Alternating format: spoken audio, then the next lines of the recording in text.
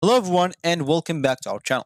In today's video, I'll be showing you how to create a timetable on Notion on 2023.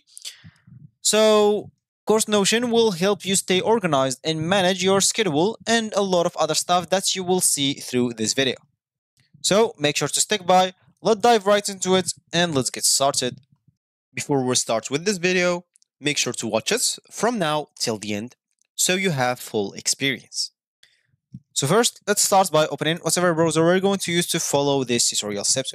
In my case, I'm actually going to use the Brave browser, and of course, in your case, you can use any other browser that you could possibly have. Once you open that browser, make sure to go to this URL section, simply type notion.com and hit the enter button. Uh, and of course, once you're logged in into your account, as an example, if you have an account, you can simply go and log in into it. If you don't have an account, you can simply go and create an account for yourself. And of course, it's going to be pretty simple. You can simply click on sign up, uh, register, or uh, get started and follow the prompts, enter your credentials to uh, create an account for yourself.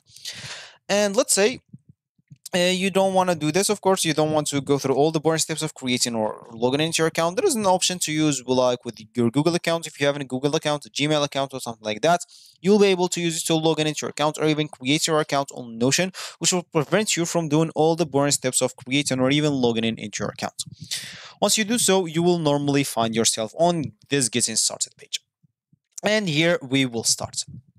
So let's start by creating a new page. Go to this list panel, of course, and set up a new page for yourself by clicking on this plus button or add page. And as you can see here, you'll be able even to import some data if you have like some data on your PC. If you click on imports, as you can see, you'll be able to import it from diff different like uh, websites like Asana, uh, Google Docs, HTML if you have like some HTML code, Word, and a lot of other stuffs. Of course, you can even go and upload like a, C, a CSV file from your PC or even HTML code from your PC or as you can see docs code from your PC so everything will be uploaded from your PC but some applications like as you can see this Trello this no Dropbox is not. So as you can see those uh, options you'll have to go and connect your account into it or uh, log into your account here and then import whatever you want from those websites. Of course, you can even go click here on templates and use one of the people templates here. So for the to-do list, you have these templates. For the projects and tasks, you have those templates. Uh, for us, we would like uh, to create a timetable. So we would we can simply go here and type like time timetable. If we didn't find, so we can simply uh, go and type table as an example. If we didn't find, it's fine. We can simply go instead of this work as an example, go for projects or uh, personal or something like that or docs and of course, we may find here like some tables. Of course, if we didn't find, it's not to be a big difference. We can simply go and create our own table or board or timeline or even calendar, uh, which is a kind of calendar is kind of a timetable. If you want to create a calendar, you can simply click on it, then click on new database instead of like of those options. Of course, you can use them if you want to like for recipes, for something like that. If you don't want to use them, you can go and click like as example, instead of this. So let me just go, uh, not duplicates I meant to delete. So let's example, let me just delete all of those.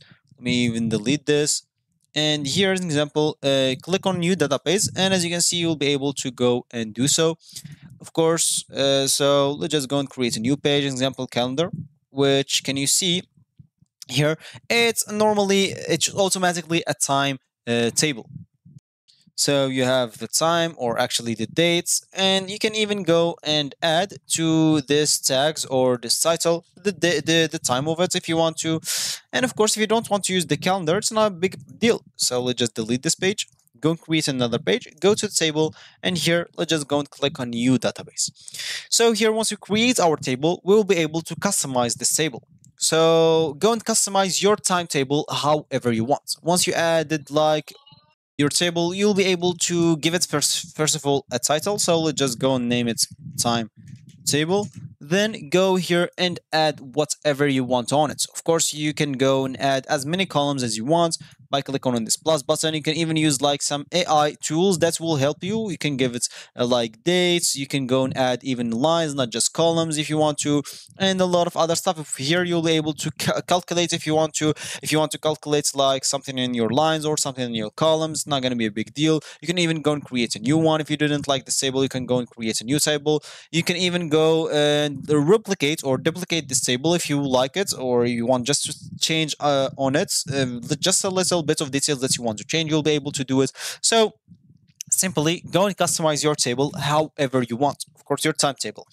Then, of course, comes the fun part. So populating, which is so populating your timetable with your schedule. So you can start by filling in the days of the week and time slots. Then, of course, you can add your activities, classes, appointments, or any other events you want to track. You can even go and add any details or and formatting example. So to make sure your timetable and uh, more informative and visually appealing, you can add additional details example and formatting. Of course, Notion all, all always will allow you to customize your text styles and apply any colors if you want to. And of course, even uh, add like icons or emojis to your timetable. And of course, to make it easier to navigate your timetable, you can utilize filters and view in Notion and of course this filters will uh, help like uh, of course you can uh, filter your timetable based on your specific days uh, classes or activities and creates different views on focus uh, of course you can even focus like on different aspects on your schedule so as you can see, here's the filter. You'll be able to filter by name, dates, or tags. Uh, you can go and use a lot of things here on this drop-down menu or sorry on this three dots I missed. And of course uh, sorry I pressed F12 by mistake. So here you can go of course familiarize yourself with Notion if you're not that good with it. Of course you can even go and become pro professional on it if you want to.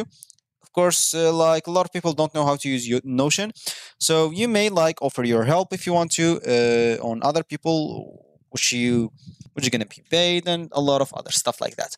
So once you finish editing and customizing and everything in your timetable you'll be able to share it with other people. So click on the share button or even publish it if you want. You can publish it on the web.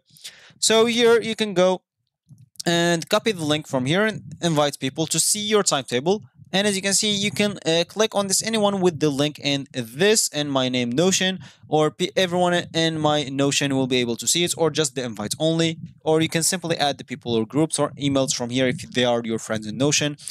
You can even go, uh, as an example, not even sharing. Uh, of course, sharing will allow people like to view those things. You can even go and add members to your accounts adding members to your accounts not not all will just allow them to view you can give them some permissions if you want them to edit your uh, timetable for you if you are like a boss of our company or something like that uh, this could be made so that's it normally. So if you reach this point of this video, congratulations. Uh, there you have it. Fully customized timetable Notion to help you like stay organized and manage your schedule. Whether you are a student, professional, or just someone looking for a better organization, organization for your uh, work, uh, school, whatever it is, of course, uh, the Notion provides a flexible, initiative way to create your uh, table or timetable. So thanks for watching. If you like this video, make sure to leave a like down below and subscribe for our channels for more helpful tutorials like this one. And I'll see you in the next video.